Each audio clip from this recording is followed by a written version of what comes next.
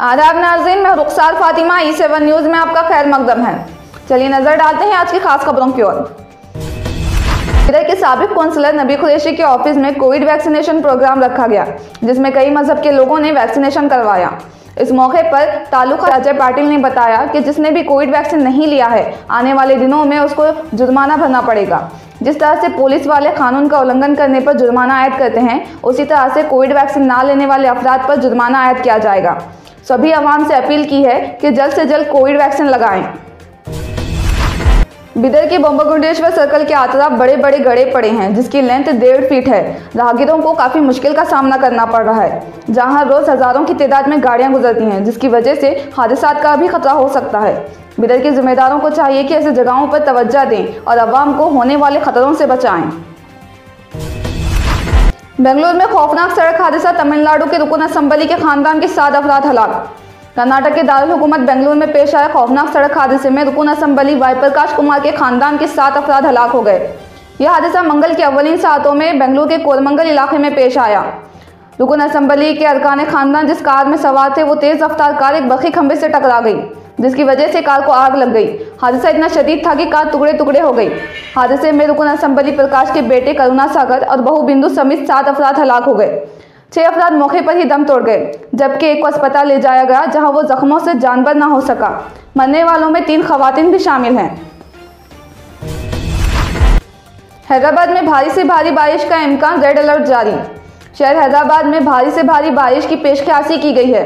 सूरत हाल को देखते हुए महकमा मौसमियात ने शहर हैदराबाद में रेड अलर्ट जारी करने का ऐलान किया है। महकमा मौसमियात ने इंतबा दिया है कि अगले 24 घंटों के दौरान हैदराबाद में भारी से भारी बारिश हो सकती है। इस तरह हैदराबाद के अलावा भवनगिर और विखाराबाद ज़िले में भी ज़बरदस्त बारिश का इम्कान ज़ाहिर किया गया है।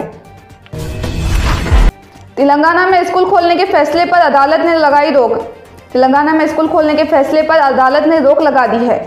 अदालत ने एक हफ़्ते तक के लिए स्कूल खोलने के फैसले पर हुक्म अल्तवा जारी किया है। वजह रहे कि तेलंगाना हुकूमत ने इक्कीस सितंबर से स्कूल खोलने का फैसला किया था, जिस पर हाईकोर्ट में एक दरखास्त पर आज समात हुई और अदालत ने स्कूल खोलने के फैसले पर एक हफ़्ते तक रोक लगा दी है। कामारेड्डी में एक मुस्लिम खातून का गला काटकर नामालूम अफराद फरार। तेलंगाना के कामारेड्डी टाउन में आज सुबह मकान के सामने झाड़ू देने वाली खातून का नामालूम अफराद ने गला काटकर फरार हो गए।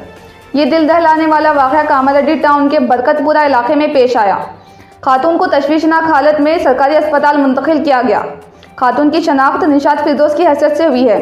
बताया गया कि दो अफराद मोटर बाइक पर आकर खातून का गला काटकर फरार हो गए। हमले की वजह मालूम ना हो सकी। पुलिस इस वाक़े पर तहकीक़ात कर रही है। उत्तर प्रदेश में पुरस्कार बुखार का कहर फिरोजाबाद में 33 बच्चों और सात बालिगों की मौत।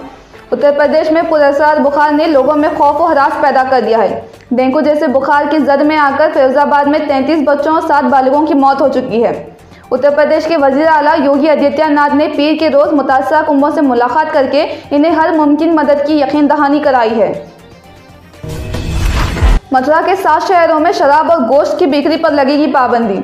उत्तर प्रदेश के वज़ीर अला योगी आदित्यनाथ ने मथुरा में एक मजहबी तकरीब का खिताब करते हुए कल ऐलान किया कि मथुरा के सात शहर, वृंदावन, गोवर्धन, नंदगांव, बरसाना, महावन, गोकुल और बल्दियों में शराब और गोश्त की बिक्री पर पाबंदी लगेगी।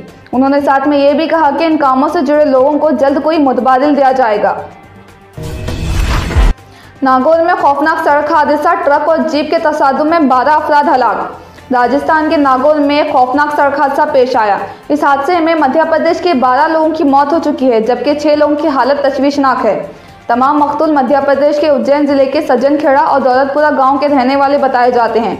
मरने वालों में आठ खवतिन और चार मर्द हैं। आज की खास खबरों में इतना ही। मुल्क भर की तमाम ताज़ा तरीन खबरों के लिए देखते रहें ई सेवन न्यूज़।